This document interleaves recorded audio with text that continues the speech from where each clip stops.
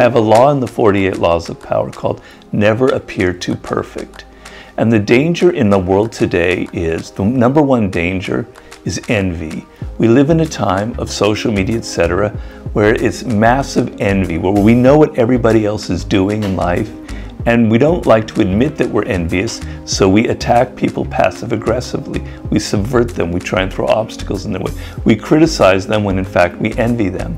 And the strategy there is to learn how to deflect envy. So if you're Jeff Bezos or Elon Musk, you have to have some humor. You have to have some self-deprecating humor. You have to take the criticism that comes and kind of laugh at it and go along with it so that you don't appear all stiff and rigid and defensive. One of the laws is, I think, the most important, basically make people dependent on you. You don't want to appeal to people's love, to the fact that they like you. You want to appeal to the fact that they need you. Because if they love you, love is a very tenuous emotion. In fact, it doesn't work very well in the work situation. It causes all kinds of problems. They'll get rid of you tomorrow, even though they like you. But if they need you, it's like pulling out all of these roots of a plant to get rid of you It's going to cause all kinds of damage all over the place.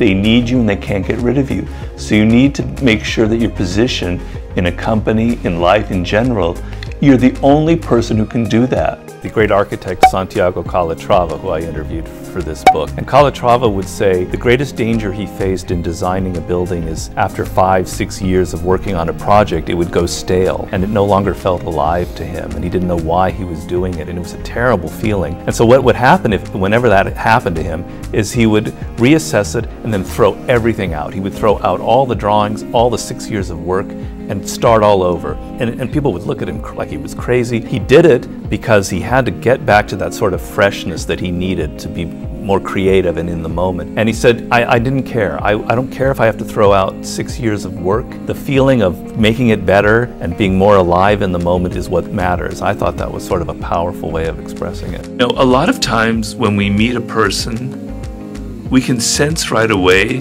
that there's something wrong about them, right? Mm. And I tell people who get into toxic relationships, you know, can you go back to that moment when you first met them? And can you remember a moment where you got initially a little bit uncomfortable in their presence?